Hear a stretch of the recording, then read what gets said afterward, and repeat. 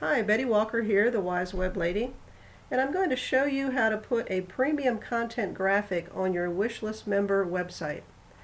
Now you'll notice on the Insider Wishlist Products website, what they've done on the on the home page is they have a graphic here that lets you know that this post is available to Wishlist members only. Some of them have that graphic letting you know that, and there are a few of them that do not, that these are available for free for people who are non-members, so anyone visiting the site would be able to read these certain posts. But the ones that are member-only content, these act as a great teaser for someone visiting the site to let them know that there is some really great content inside if you join and become a member.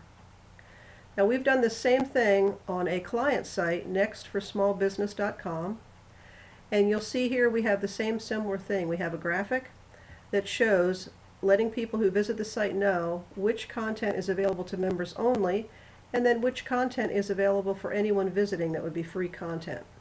So this gives them a little bit of a teaser on what the content is that's available to members only, and that hopefully will entice them to go ahead and become a member. Now the way that we accomplish that is that we are using the wishlist member API. Now API is Application Programming Interface.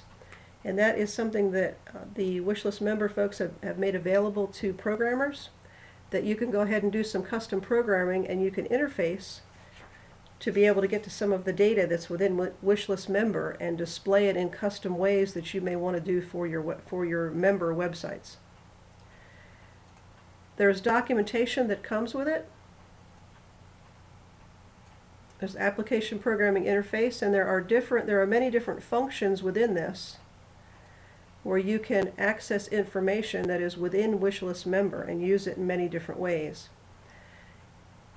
If you don't have documentation for this, you can go ahead and put through a support ticket with Wishlist member and they will go ahead and send you the documentation for it. What this uses is something within your Wishlist member plugin. It's within the subfolder core, C-O-R-E. You should see in there there's a program called api.php. That is the application programming interface that they have supplied. And that's where all the functions are that are listed in here that we can go ahead and pull in content. Now if we go down into the post functions, there's many different ways and many different information you can pull in from here. So there's some really great things in here if you want to go ahead and get that documentation from them and you can read through the different things you can do. And if you are uh, a PHP programmer, you would be able to go ahead and customize your, your templates and your sites using these. The one that we use for this is we are using the get post level. And you'll see that what that function does is it retrieves the membership levels that have access to a particular post. So what we did within Next for Small Business is we went into the template area for that site You'll see here it's within the WP content themes and then within our template or our theme for that site and we went to the archive.php file. And it's going to be a little bit different on everybody's uh, archive.php depending on what your theme, what your template is set up like. Ours was down somewhere around line 233 here, you'll see it. And what we did is we added the code right after our post would display, which is here, You'll see that information that's in here. And then what we did is we added a few more lines here that would go out and check for each of the posts that it loops through here. If this post is premium content, then go ahead and display the special members only graphic that's here.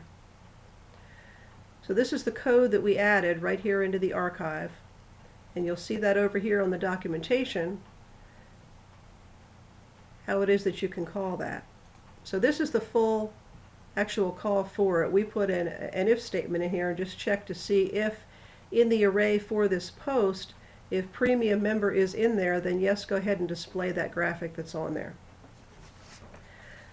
So that gives you a little bit of information on how you can do that. Once you put that information in there, you can go ahead and have a graphic that will show on your post just for the members only for your premium content. Again, this is Betty Walker, the Wise Web Lady, and I hope this has helped you in making even better wishlist member websites.